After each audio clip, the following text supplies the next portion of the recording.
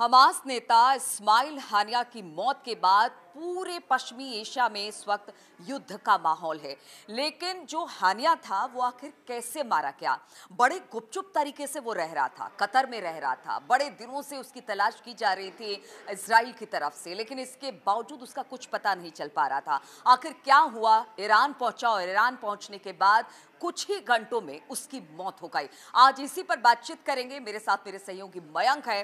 मयंक, हानिया की मौत ने कड़ी सवाल खड़े कर दिया है। हानिया, वो शख्स था जो कि बहुत दिनों से इसराइल जिस पर नज़र रखे हुआ था, खासतौर पर इसराइल में जिस तरह से आतंकी हमला हुआ उसके बाद से, लेकिन उसका कुछ पता आता नहीं चल पा रहा था। आखिर ऐसा क्या हुआ? कहाँ से क्लू मिला इसराइल को?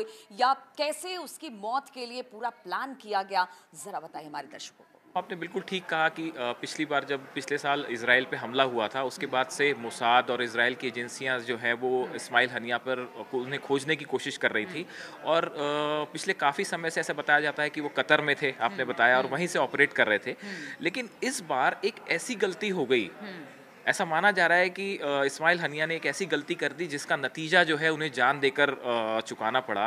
असल में ये तेहरान में ईरान के राष्ट्रपति के शपथ ग्रहण समारोह में शामिल होने गए थे। हाँ। और इन्होंने रिलीजियस जो लीडर हैं उनके अतायुल्ला खुमैनी उनसे हाँ, भी मुलाकात की। अब इस मुलाकात की कुछ तस्वीरें जो हैं वो सोशल मीडिया पर सामने आ गई और वहाँ के ईरान के न्यूज़ चैनल इसको अपने चैनल्स पर दिखाने लगे। तो उसके बाद ये हुआ कि ये पिछले सात आठ महीने में ऐसा पहली बार हुआ जब इस्माइल हनिया की लोकेशन क्या है? इसके हाँ ये जैसे जो कि इतना इतने सिक्योरिटी में रहना और लोकेशन ना बताना छिप छिप के रहना उसके बाद इतनी इतना बड़ा लूप फॉल्स क्या हो जाता देखिए एक तो एक इसकी वजह यह है कि इस्माइल हनिया जो है उनके लिए ये एक बड़े प्रेस्टिजियस की बात की तौर पे दिखाया जा रहा था कि वो ईरान के राष्ट्रपति की जो है शपथ ग्रहण में समारोह हाँ। में शामिल हो रहे हैं अयातुल्ला खमैनी से मुलाकात कर रहे हैं। तो वो हमास के एक आतंकी संगठन का चीफ अपने आप को एक इस तरह से पेश कर रहा है कि वो कोई बहुत बड़ा इंटरनेशनल इंटरनेशनल लीडर है। हाँ, बिल्कुल। बिल्कुल। तो ऐसे में क्या हुआ कि ईरान की जब ये मुलाकात हुई, इसके जो विजुअल्स थे, वो ईरान के सब न्यूज़ चैनल्स पे चलने लगे सोशल मीडिया में वायरल होने लगे।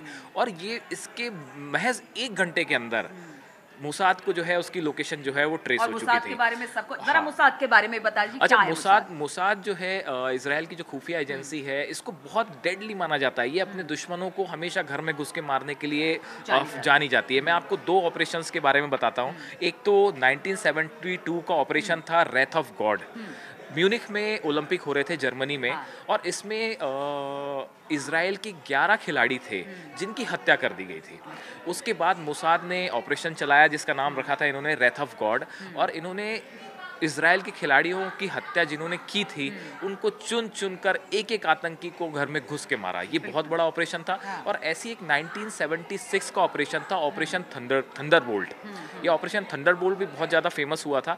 इसमें एक प्लेन को फ्रांसीसी प्लेन था हम्म। इसको हाईजैक करके इसे युगांडा ले जाया गया था। हम्म। और 96 इसमें जो है वो यात्री जो थे इसराइल के काफ़ी सारे यात्री थे। मुसाद ने ऑपरेशन चलाया और उस प्लेन के अंदर से सभी यात्रियों को रिहा करवा लिया। मिला के कह दिया जाए कि मुसाद अपने दुश्मनों को बिल्कुल नहीं छोड़ता है और चुन चुन के मारता है। और इस बार भी जिस तरह से इसराइल में हमला हुआ और कहते हैं कि 1200 लोग मारे गए बच्चे बूढ़े हर तरह के के। उसके बाद से वो लगातार अगर बात की जाए हानिया की तो उसे ढूंढ रहा था और बस एक मौके की ज़रूरत थी जो मौका उसे ईरान में मिल गया। अच्छा नीलू एक बहुत इंटरेस्टिंग बात है जो अभी हम थोड़ी देर पहले चर्चा भी कर रहे थे कि ये हमला हुआ कैसे? हम्म, हम्म। देखिए जहाँ पे जिस जगह पर हनिया रुका हुआ था हम्म। वो जगह बहुत ही सिक्योरिटी जोन में आती है। मतलब वहाँ पे आसपास जो है वो फोर्सेस तो थी ही इसके साथ ही वहाँ पे राडास भी लगे हुए थे। हम्म, ये ऐसी जगह नहीं थी कि जहाँ पे कोई मिसाइल आ जाए या कोई ड्रोन अटैक हो जाए या एयर स्ट्राइक हो जाए और ईरान की मौत के बाद तो ईरान के सिक्योरिटी सिस्टम पर भी सवाल उठा रहे हैं सवाल उठ रहे हैं। तो हम्म। अब क्या है कि यहाँ पे जो राडास लगे हुए हैं ये हम्म। लगातार जो है हर हरकत पे नज़र रखते हैं। तो ऐसे में ये भी बड़ा थोड़ा सा आश्चर्यजनक है कि कैसे एक मिसाइल जो है वो ईरान के बाहर से अगर फायर की गई तो वो कैसे अंदर आ जाती है वो ट्रेस नहीं होती है। अब इससे कई थ्योरीज ऐसी उठने लगी कि कहीं ऐसा तो नहीं। हालाँकि इस बारे में अभी कुछ कहा नहीं जा रहा लेकिन हम्म। सवाल अब ईरान पे भी उठने लगे हैं हाँ, कि आपके एक मोस्ट सिक्योरिटी जोन में हमास के हमास की चीफ की हत्या हो जाती है हाँ। और ईरान की खुफिया एजेंसी इसको पता नहीं कर पाती है राडास उसको ट्रेस नहीं कर पाते हैं तो ये कई सवाल जो है ये ईरान के ऊपर भी खड़े और देखिए अभी तो नए राष्ट्रपति का चयन हुआ है आप सोचिए उन पर दबाव कितना ज़्यादा होगा क्योंकि सिक्योरिटी लैब्स है एक हमास का नेता जिसको कि ईरान लगातार सपोर्ट करता रहा है चाहे वो हिजबुल्ला हो हमास हो हर को सपोर्ट करता रहा है ईरान अब ऐसे में उसकी मौत के बाद बहुत सारे सवाल ईरान पर भी उठ रहे हैं। इसलिए कहा जा रहा है कि हमास ईरान सब मिलकर कुछ बड़ा प्लान करने की तैयारी में जिस पर पूरी दुनिया की नज़र है। और जो पश्चिमी एशिया का पूरा माहौल है इस वक्त थोड़ा टेंस है। लेकिन चूँकि हम गाजा पट्टी की बात कर रहे थे और उसमें एक एक तथ्य ये भी निकल कर सामने आता है कि गाजा पट्टी से ऑपरेट हमास कैसे करता है? क्योंकि नौ महीने से युद्ध चल रहा है मयंक। जरा उस बारे में भी बताइए देखिए गाजा के जो गाजा पट्टी में जो हमास के लीडर्स हैं असल में हमास जो है ये दो तरह के लीडर्स के बीच में डिवाइडेड है।